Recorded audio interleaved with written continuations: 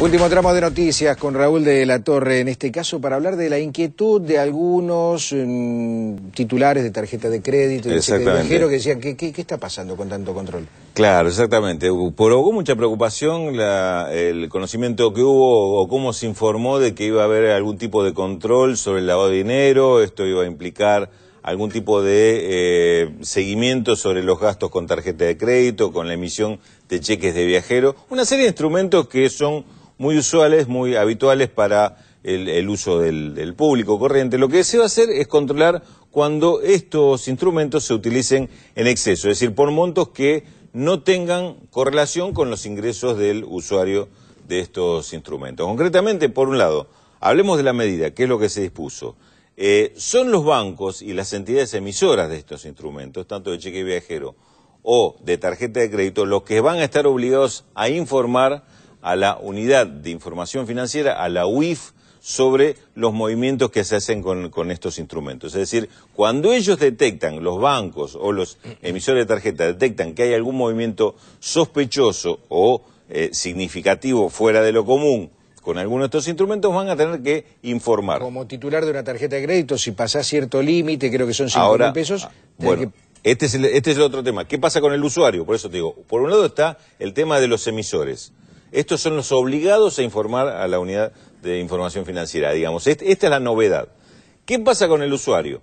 Aquel usuario que tiene un límite de compra que va entre 5 mil y 20 mil eh, pesos mensuales, ese usuario le van a pedir, si el banco no se lo pidió hasta ahora, porque en muchos casos el banco ya te pide una declaración que acompañe este, este pedido de, de ampliación del límite de compra, te van a pedir alguna eh, declaración sobre cuáles son tus ingresos, cuál es tu nivel habitual de ingresos, cosa que justifique que eh, vas a tener gastos por, es- por esos montos, o digamos, gastos por lo menos eh, habituales o esporádicos. Uno a veces tiene la tarjeta pero no la usa este, si le tiene un límite de, de compra de 20 mil, no quiere decir que todos los meses va a comprar, gastar 20 mil pesos con esa tarjeta, seguro. sino que la- te estás cubriendo por algún gasto importante que vas a hacer esporádicamente. Es decir, informar simplemente este tema, para que el banco tenga la constancia y que no considere una operación sospechosa o curiosa que de repente puedas gastar 10 o 15 mil pesos con la tarjeta todos los meses y tenés un ingreso, por ejemplo, de 30 mil o 50 mil pesos. Es decir, este es el único aspecto que afecta directamente al cliente.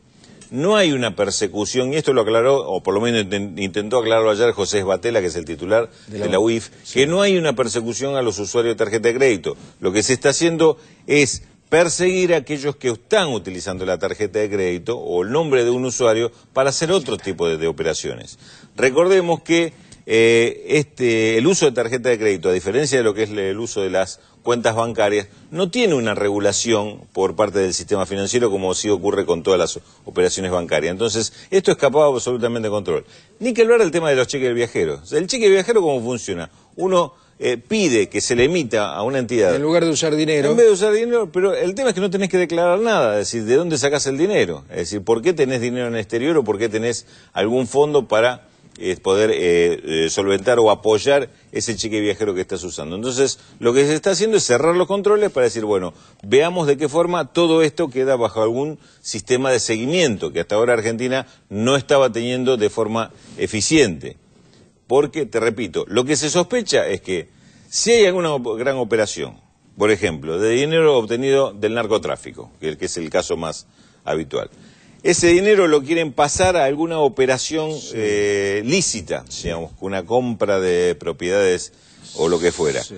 Para, eh, para blanquearlo, lo Para que se- ponerlo en el circuito para legal. ponerlo en el circuito, por ahí se, se utiliza el nombre de un indigente, al cual por ahí se le dan 200 pesos para que simplemente ponga la firma en un papelito, sacan una tarjeta de crédito a nombre de, ese indigente, y el que la sacó, no el indigente, el que la sacó la, está- la empieza a utilizar para este, hacer operaciones eh, financieras con esa tarjeta. No queda registrado en ningún banco, al indigente, por más que lo, vaya- lo vayan a buscar, este, no tiene con qué responder y en realidad el que está haciendo uso de ese mecanismo es alguien que eh, está haciendo un manejo ilícito de un dinero o, o manejo de un dinero obtenido ilícitamente. A eso es lo que se está tratando de buscar controlar y con los mecanismos que había hasta ahora no se lograba. Otro dato más, te digo que esto probablemente salga en una resolución adicional de estos días. Se va a cruzar toda la información que tiene Banco Central, con la FIP, obviamente, pero además con las comisiones nacionales de valores, con las bolsas de comercio, con toda la información que, cuenta con los bancos para que esto esté a, disposición